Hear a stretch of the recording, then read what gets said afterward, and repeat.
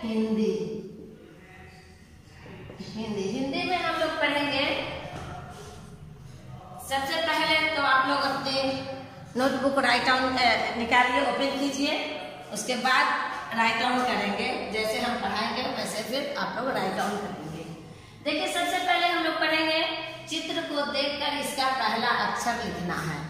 चित्र जो यहाँ पे दिया हुआ है, उसको देखने के बाद उसका पहला अक्षर लिखना है। तो यहाँ क्या दिया हुआ है? मछली। मछली किस अक्षर से होता है? उसका पहला अक्षर क्या होता है?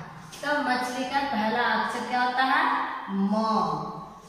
यहाँ फिर दूसरा दिया हुआ है टब टब का पहला अक्षर क्या होता है? ट, ब टब तो पहला अक्षर क्या हुआ? ट। ठीक है? अब यहाँ अंगूर, जिसको इंग्लिश में ग्रेप्स कहते हैं, अंगूर है। अंगूर का पहला अक्षर क्या होगा? अंग अंग से अंगूर होता है। तो पहला अक्षर क्या हो जाएगा? अंग। क्या होगा? अंग। यहाँ जग दिया हुआ है। ज, ग, जग। लिखेंगे कैसे? ज, ग, जग। तो इसका पहला अक्षर क्या हो जाएगा? ज। ठीक है ना?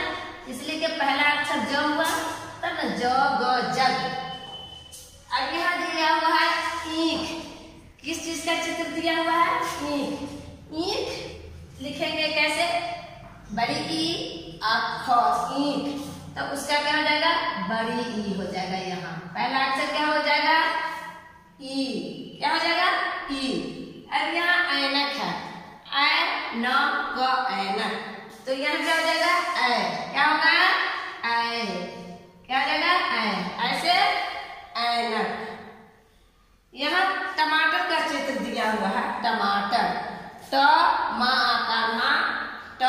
र टमाटर। तो इसका पहला अक्षर क्या हो जाएगा? ट। क्या होगा? ट। उसके बाद है दबात दबात कैसे लिखेंगे? द, व, आकार का डंडा अब तो दबात इसका पहला अक्षर क्या हो जाएगा? द दबात आप लोग ने बच्चे नोटबुक पे राइट ऑन किया राइट ऑन नहीं किया है तो फिर इसको राइट ऑन कीजिए पहला अक्षर मछली का क्या होगा म दूसरा है टब तो ट तीसरा अंगूर अंगूर। अंग से लिखा था पहला अक्षर उसका अंग होता है, इसलिए अंग। जग, ज जग, ज, ग, जग। तो पहला अक्षर क्या होगा? ज। ईख। पहला अक्षर क्या होगा? ई। ऐनक। ऐनक का पहला अक्षर क्या हो जाएगा? ऐ।